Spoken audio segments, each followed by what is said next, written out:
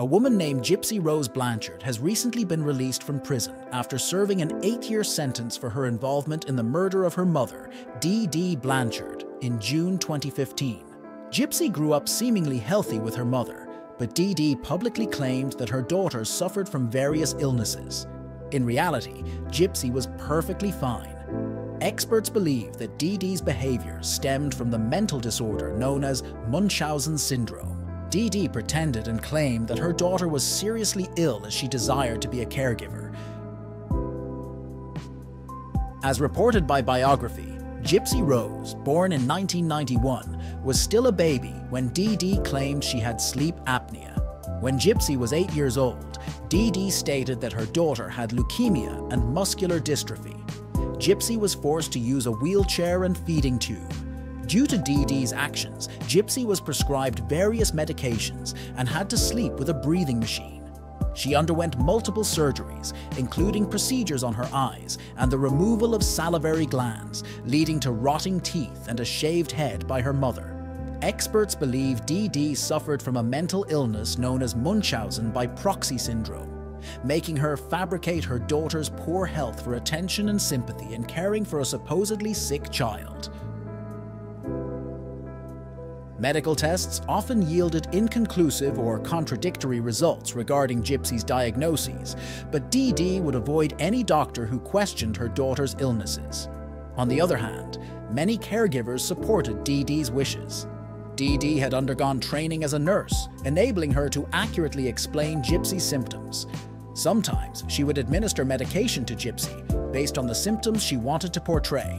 In 2005, Dee Dee moved Gypsy from Louisiana to Missouri, citing Hurricane Katrina as the reason. There, Dee continued to take Gypsy to doctors, claiming that Katrina had caused the loss of her daughter's medical records. In 2008, Gypsy and Dee moved to a new home in Springfield, Missouri, built by the charity Habitat for Humanity, painted pink, and equipped with a wheelchair ramp. Due to her condition, Gypsy and Dee Dee received much assistance and money, including entertainment such as concert tickets and a visit to Disney World. Dee Dee continued to enjoy the attention she received as a devoted caregiver. As Gypsy grew older, Dee Dee began lying about her daughter's age, even altering Gypsy's birth certificate to make her appear younger. However, as Gypsy reached adulthood, she became increasingly difficult for Dee Dee to control. In 2011, at the age of 19, Gypsy attempted to escape her mother's control. She once tried to run away with a man she met at a sci-fi convention. However, Dee Dee quickly tracked them down through mutual friends. She convinced the man that Gypsy was still a minor, even though she was 19 at the time. According to Gypsy, Dee Dee destroyed her computer and physically restrained her in bed upon their return home. Gypsy also claimed her mother would sometimes hit her. Gypsy continued to attempt escape, now trying online dating. There, she met a man named Nicholas Godejohn, who later became her boyfriend. Gypsy confided in Nicholas and revealed what her mother had been doing. Eventually, Gypsy asked Nicholas to kill Dee Dee so that they could live freely together. In June 2015, Nicholas came to Gypsy's home and stabbed Dee Dee while Gypsy waited in the bathroom with her ears covered.